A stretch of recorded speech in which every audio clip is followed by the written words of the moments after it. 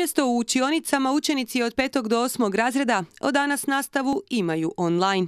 Možda je bolje da je manje učenika po školama, ipak s obzirom na zarazu, na virus i sve to, možda ipak bolje znam da to nije lako od kuće i da je stvara muke i probleme i za roditelje i za djecu i puno gradiva i svega skupa, ali i to će sve proći, nadajmo se. Pametno, bolje od doma nego se izlagati riziku. Sve osnovne škole u Primorsko-Goranskoj županiji od 5. do 8. razreda, izuzev osnovne škole u Opatiji, prešle su na model nastave C.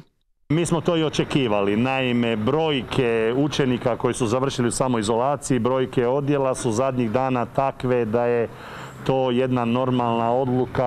A taj broj je za osnovnu školu Srdoći prošli tjedan značio 158 učenika u samoizolaciji. Apsolutno je nužno, pametno i očekivano zato što u datom momentu se postavljalo pitanje organizacije rada. Naime, imate djecu koja su zaražena, djecu koja su u samoizolaciji, paralelno s tim jedan dio ljudi završava u samoizolaciji. Online nastavu podržavaju u najvećoj osnovnoj školi u Županiji, onoj u Viškovu, gdje od 5. do 8. razreda broje ukupno 460 učenika. Naime, mi smo i do sad imali B model, ali već zadnji tjedan nam je ta brojka počela e, sve više sa samoizolacijom se rasti, tako da je ovo pravi trenutak da smo ovaj tjedan kompletno prešli na C model. Nastava u virtualnom okruženju trenutno je pametan izbor, zaključuju ravnatelji.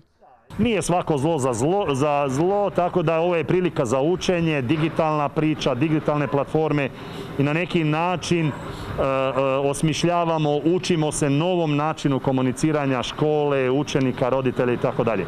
Što kad ova cijela priča završi će mož, čak možda i dobro doći u nekim drugim komunikacijama.